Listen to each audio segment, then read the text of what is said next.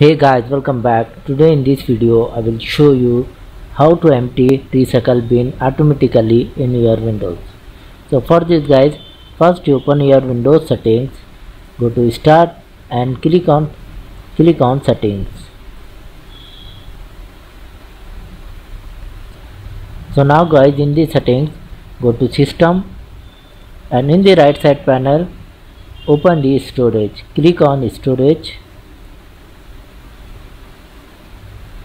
so as you can see here storage sense automatically free up its space delete temporary files and manage locally available cloud content.